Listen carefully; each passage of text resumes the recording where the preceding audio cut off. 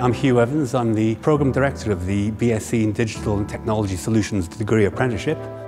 Digital and Technology Solutions is a combined apprenticeship and degree programme and it aims to combine uh, experience in the workplace with academic learning.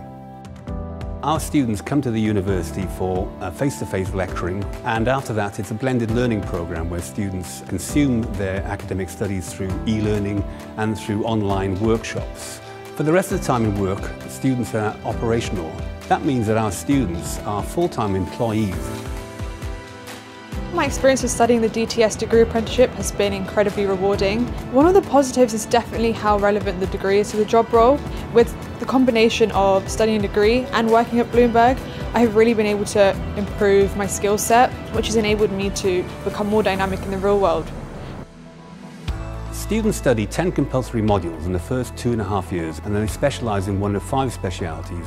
The DTS programme is based on a set of 40 knowledge, skills and behaviours laid down by industry to try and fill the skills gap in the digital sector.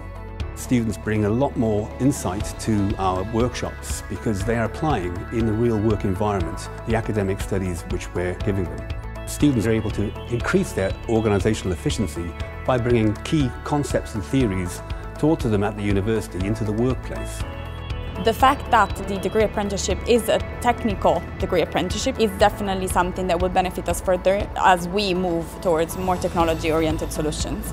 At Bloomberg we were able to see really the real impact that we can make for our apprentices. By leveraging their tech skills, they make sure that we provide a better service to our client.